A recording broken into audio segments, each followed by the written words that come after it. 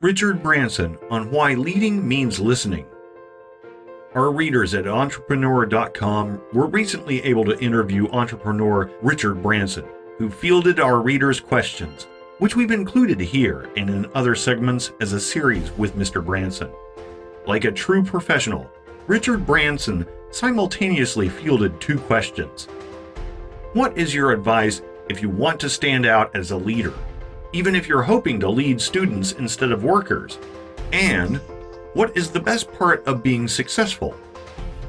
Branson said, While those two questions don't appear to be related at first glance, the answers are almost one and the same. If you want to stand out as a leader, a good place to begin is by listening. Any organization's best assets are its people. Move things along just by paying attention to what employees are saying. Which brings me to the second question.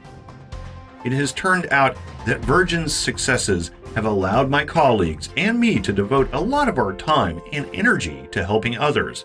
Great listeners are often terrific at uncovering and putting in place strategies and plans that have a big impact providing the encouragement and advice that young people need to start companies and help their communities is one of the most rewarding things we do.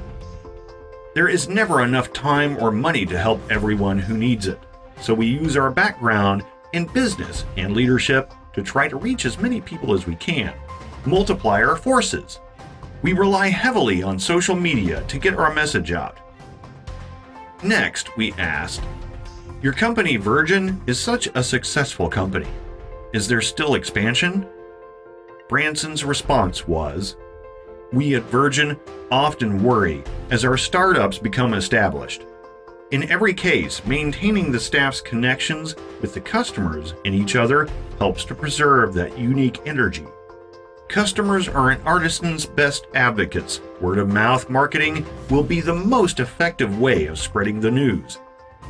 Knowing this, look to social media to promote yourself.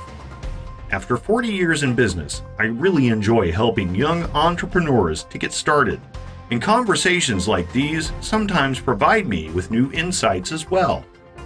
You can stumble on solutions that no one else has thought of, solutions that will help you to create your unique foundation for success.